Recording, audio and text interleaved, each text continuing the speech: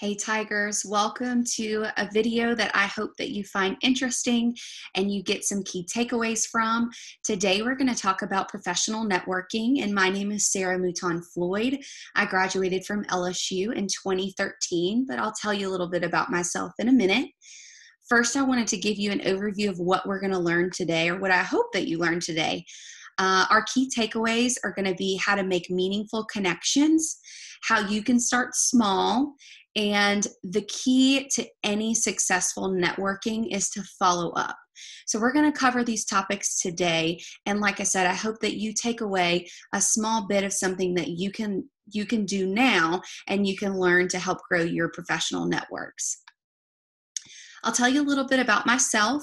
I mentioned that I graduated from LSU, proud Tiger. I graduated from the EJ Ourso College of Business in Marketing in 2013. I've spent my entire career in nonprofit, so I feel like I'm a professional volunteer um, as well as I'm an eternal extrovert. So you'll learn a little bit more about me as we go in this presentation. Uh, my favorite spot on campus was definitely the library, but I've been seeing pictures and it doesn't look anything like it did when I was in school. Right after I graduated, I had the opportunity to work for St. Jude Children's Research Hospital for four years in Baton Rouge, and I actually commuted between Baton Rouge and New Orleans. And it was a job that I really cherished and an organization that I absolutely loved. And then recently, I relocated to Monroe, Louisiana, I work for the Children's Coalition for Northeast Louisiana, and I absolutely love what I do as the development director.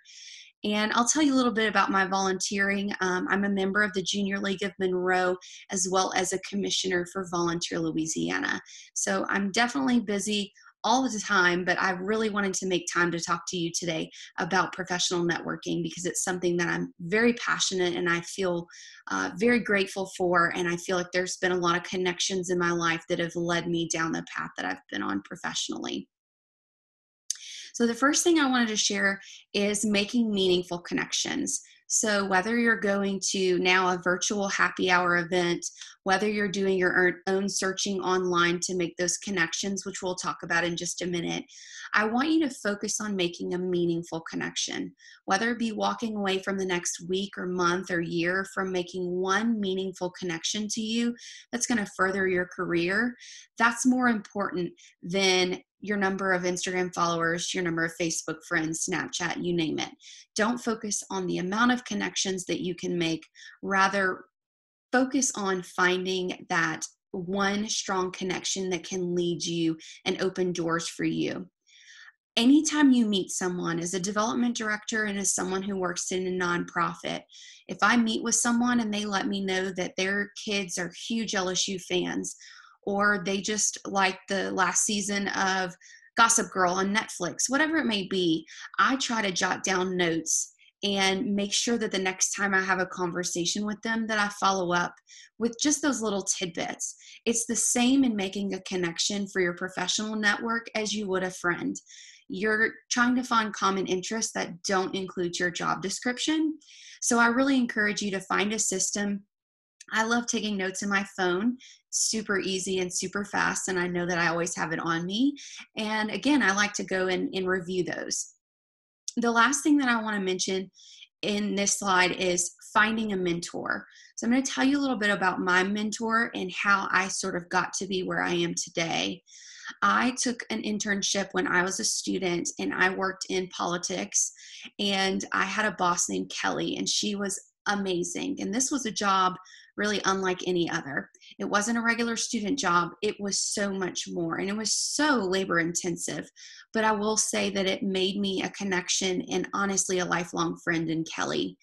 Kelly and I have maintained um, in touch throughout the years. And Kelly's actually with Blue Cross Blue Shield of Louisiana now. And they are amazing partners for our organization in Northeast Louisiana. But on a personal level, she also recommended me to be a volunteer Louisiana commissioner, which means that I get to represent the Northeast corner of the state. Um, in terms of volunteerism. So I am allowed to have a voice and a seat at the table in terms of really just representing what our state is all about and giving back. And really, if I hadn't made that connection with Kelly, so many doors would not have been opened. And I really consider her a mentor um, for so many reasons. But find your Kelly, find that one person that you feel like you could aspire to be. Maybe not the exact same job title that you're looking for, but just someone who you want to mirror their work ethic and you want to mirror where they're going in life start small. So I know that right now there's so much uncertainty, but what is certain is that you have an opportunity to network from your computer. So there are so many happy hours that have been turned virtual, and no, it's not the same, but if it's the only opportunity that you have, take that opportunity, sign up for a virtual happy hour.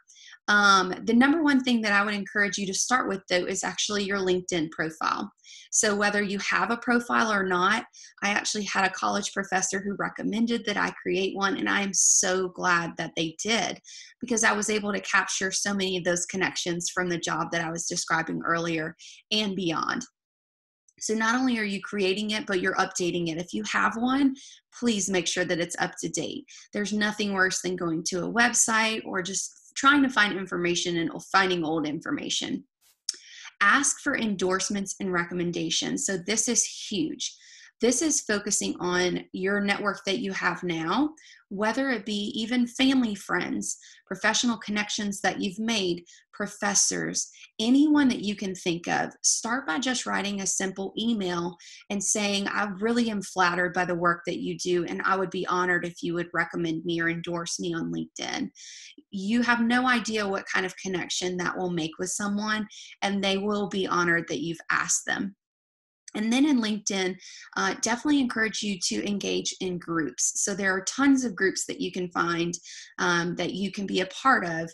I really enjoy the groups that I'm a part of. Some of them um, are just about my hobbies, some of them are professional, and you never know what kind of connection you'll make online. So, like I said, start very small, focus on your LinkedIn profile. The second thing that you can do is join the Alumni Association. And no, they did not pay me to say this. Uh, the Alumni Association, their core mission is to connect alumni. And these are basically connections that you may not make otherwise. They've got job boards that you can be part of. They've got virtual events that they're creating. Um, so it's really important that not only you support them um, with a small financial gift. Look, no one is out here asking to give um, large dollar amounts, but it is a part of something that you can find meaningful connections in, and you can also build your resume by being an Alumni Association member. Um, and then the most important thing uh, aspect of networking rather is following up. So I mentioned um, having those conversations, finding out what TV shows your your um, connections like, uh, just learning more about their kids and just listening, um, or their family, or their home life, or their hobbies, whatever it may be. If you're taking those notes and you're taking note of what they enjoy doing, um, follow up with them and I find it more powerful, especially in nonprofit, to follow up when you don't need anything. So, so many people in nonprofit are only following up with their donors when they're getting ready to ask for something um, or they are asking for something. But I think it's so important that when you follow up and you you connect with someone when you don't need anything, it makes it so much easier when you finally do need something because you've already built that relationship. So, again, we're talking about that one powerful connection that you can deepen. You're reaching out to them, whether it be through a handwritten note, an email, a phone call or a text, really anything goes at this point. Um, but really following up in a meaningful way and checking in on them and letting them know that they're on your mind, especially in the time that we're in now. This is so, so, so important. And follow up often. So, as a development director, I have calendar appointments that will remind me specific donors oh, I know that it's their birthday, I know that it's their work anniversary, but it's also powerful just to do it just because. That's what I have for you today. It is super, super, super important for you to be true to yourself. Um, I would never want someone who has an introverted personality to feel like they have to be someone that they're not.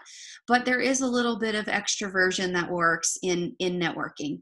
So don't be afraid of that word. It's not something that should scare you. It's something that you should look for it as an opportunity to further your career and really just make yourself go to the next level. You're going to have to push yourself and become a little uncomfortable, but I promise you in the end that it is worth it. I can guarantee you I would not be in the seat that I'm in now had I not made those connections.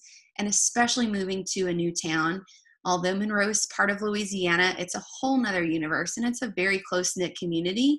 And if I hadn't made a handful of connections in the early days, those connections introduced me to more people. So it really was key for me to, to building that groundwork into building um, those connections, but also leaning on past friends and colleagues and coworkers who felt the need to introduce me to people in Monroe. So I've really grown my network. I've really grown my social circle, both personally and professionally. And I've done it by making those meaningful connections and also by following up. So if you guys want to connect with me, I'd be happy to um, connect with you on LinkedIn, Instagram, Facebook, you name it.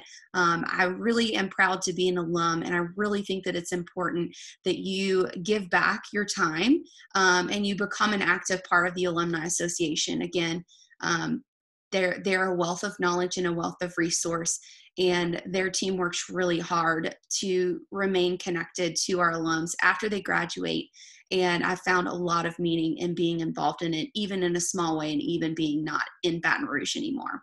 So, with that being said, I hope that you've enjoyed this video. I hope that you've learned something, and um, I hope that you connect with me and go Tigers.